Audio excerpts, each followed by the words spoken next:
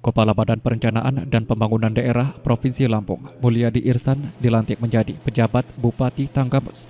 Pelantikan berlangsung di Mahan Agung Rabu 27 September pagi oleh Gubernur Lampung Arinal Junedi. Mulyadi Irsan dilantik menjadi PJ Bupati Tanggamus karena Bupati Tanggamus Dewi Handayani dan Wakil Bupati Tanggamus AM Safei telah berakhir masa jabatannya Rabu 20 September lalu. Pelantikan ini berdasarkan surat keputusan Menteri Dalam Negeri nomor 100.2.1.3 strip 3961 tahun 2023 tentang pengangkatan pejabat Bupati Tanggamus. Arenal Judaidi mengatakan pelantikan PJ Bupati Tanggamus dilakukan dalam rangka mengisi kekosongan jabatan Bupati Tanggamus.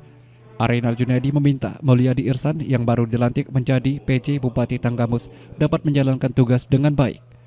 Meski telah dilantik menjadi PC Bupati Tanggamus, namun harus tetap bertanggung jawab terhadap pekerjaannya sebagai Kepala Bapeda Provinsi Lampung.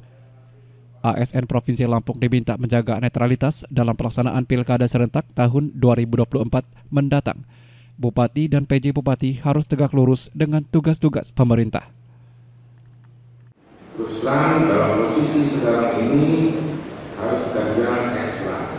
Di samping yang saya rutin membangun, tapi situasi politik jangan sampai lengah, jangan sampai mengeluh, jangan sampai terlambat antisipasi dan tidak hanya kepada PJ Bupati, kepada bupati-bupati lainnya saya juga mengingatkan.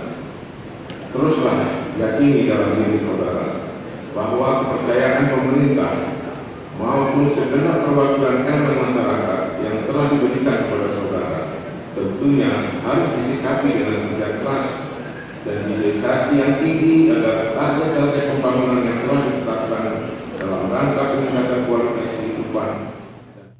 Sementara PJ Bupati Tanggamus Mulyadi Irsan mengaku jika ada beberapa hal yang ia prioritaskan, mulai dari pelayanan publik, mengawal pelaksanaan pilkada serentak, hingga melanjutkan pembangunan kawasan industri. Ia juga akan mengawal pelaksanaan pilkada serentak pada tahun 2024 sehingga dapat berjalan dengan damai. Ini atas uh, dilantik oleh Pak Gubernur atas nama Bapak Presiden saya ditetapkan menjadi pejabat Bupati Gabus maksimal satu tahun tiga bulan dievaluasi. Insya Allah memberikan yang terbaik untuk Tanggamus ya. Tanggamus itu kan uh, lengkap nih. Ada daratannya ada lautannya ada sumber daya alamnya Alhamdulillah masyarakatnya ramah tamah jadi berkolaborasi dengan semua stakeholder, dengan DPRD nanti, pemerintahan daerahnya, dengan Prokopinda, dengan semua PD, industri, semuanya masyarakat. Kita harapkan inklusivitas pembangunan itu terwujud di tanah. Mohon doa, mohon dilancarkan, dimudahkan. Jenny Pratika Surya melaporkan.